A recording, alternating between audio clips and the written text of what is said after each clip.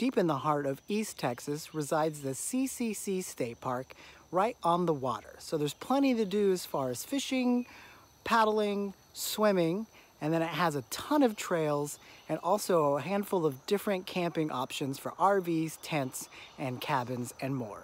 So come along with me as I explore Tyler State Park.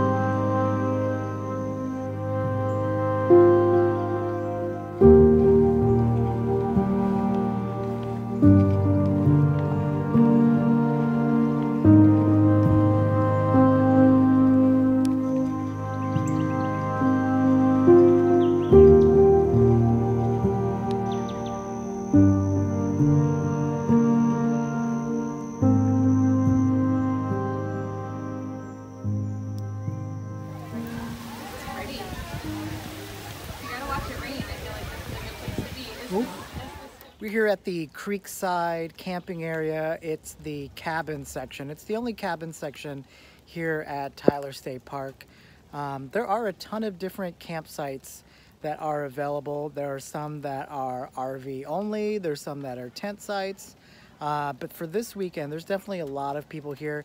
In the cabin section, when I met the reservation, it said that all of the cabins were booked and there are still two that are sorry I keep looking away but on either side of us that never had anyone show up. So uh, if you make reservations and you don't show up cancel them. They don't show reserved or anything so it looks like somebody did eventually cancel their reservation. So good on y'all for doing that. Uh, there are a lot of things to do here including activities on the water. My daughter spent a lot of time swimming today. I spent a lot of time uh, quote unquote fishing. I didn't catch a whole lot of fish because I'm just not that good apparently. Uh, but there were a lot of people out on the water doing some fishing. They have a cool swimming area that the little kids can swim on, but it was pretty packed until the rain came. But it was really neat seeing the rain on the water too. So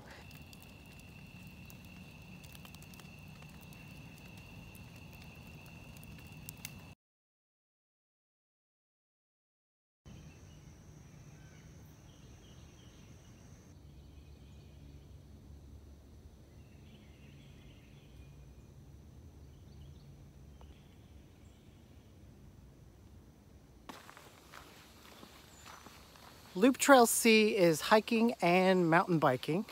So in order to make it safer for everybody, hikers gotta go counterclockwise and mountain bikes go clockwise. Kind of alleviate the uh, need to get out of the way. This park's awesome. I love it here.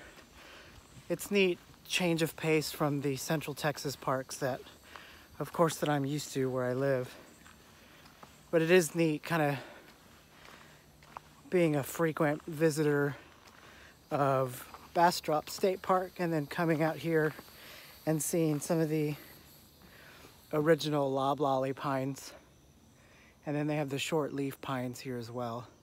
So that's pretty cool seeing the different things. Lots of raccoons, uh, lots of birds, no other wildlife. On the map, there's a picture of beaver and wild, white-tailed deer, sorry, which we haven't seen any of, but the trees are awesome. It's been really humid. It rained yesterday, as you saw uh, in this video, the, the rain over the water, which was kind of cool.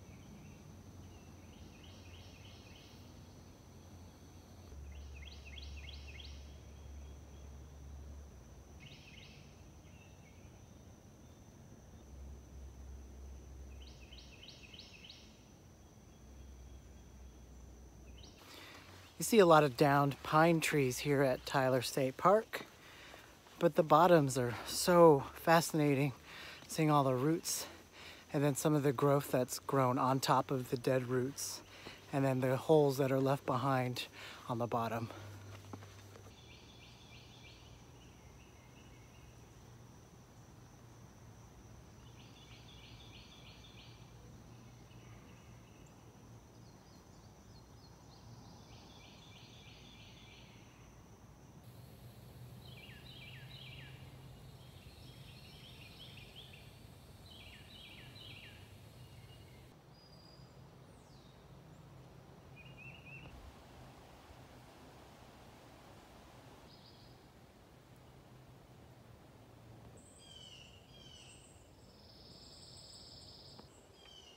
I'm not gonna lie, that little marker behind me telling us which one is C and which one is D would have been a lot more helpful at the beginning of this trail. I was on C and then I knew that C and D met up and I didn't want to look at the map, which is a mistake, so don't do that. But I ended up on the D trail and went all the way around on D instead. So now I'm on the opposite end where C and D meet up again. So just be aware that there's some uh, trail interchanges here that you're gonna have to be on the lookout for to decipher which one is C and which one is D.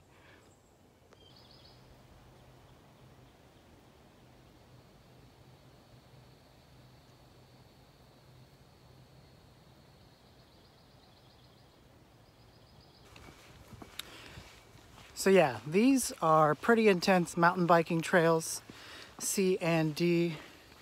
But even for hiking, some of the declines and inclines are pretty intense. So bring plenty of water.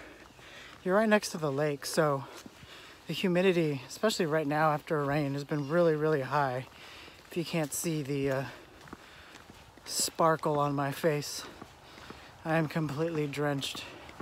But there's more mountain bikers here than hikers. And this trail is right next to the road, which I'm gonna get off at now. But yeah, I love this trail. It was really fun.